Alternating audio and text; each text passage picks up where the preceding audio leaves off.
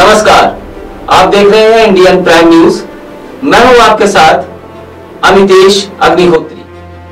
देश में corona vaccine की कमी से वैक्सीनेशन प्रोग्राम रफ्तार नहीं पकड़ पा रहा है। इस बीच एक राहत भरी खबर भी सामने आ रही है। अगर सब कुछ ठीक रहा तो जल्द ही भारत में दुनिया की सबसे सस्ती कोरोना वैक्सीन उपलब्ध होने जा रही है। हैदराबाद की कंपनी बायोलॉजिकल ई इस वैक्सीन पर काम कर रही है। इसका नाम कोरबेवैक्स रखा गया है। अभी इस वैक्सीन के तीसरे चरण का ट्रायल चल रहा है। इस ट्रायल के नतीजे आने के बाद कंपनी इमरजेंसी अप्रूवल के लिए अप्लाई करेगी। कहा जा रहा है कि इसके दो डोज की कीमत 400 से 500 रुपए तक के बीच में ही सीमित रहेगी।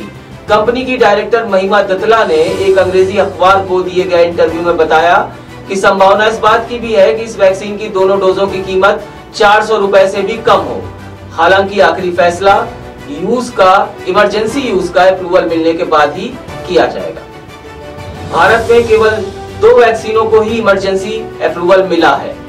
इनमें से एक सीरम इंस्टीट्यूट की बनाई गई कोविशील्ड है। कंपनी इस वैक्सीन को केंद्र सरकार को तीन सौ रुपए प्रति डोज के हिसाब से दे रही है और निजी अस्पतालों को छह सौ रुपए में दे रही है। इसके अलावा दूसरी वैक्सीन भारत बायोटेक की कोवैक्सीन है। जिसे सरकार को चार सौ रुपए प्रति डोज के हिसाब से और निजी अस्पतालों को बारह सौ रुपए प्रति डोज के हिसाब से दिया जा रहा है। इसके अलावा भारत में रूस की बनी स्पुतनिक वी को भी अप्रूवल मिल चुका है।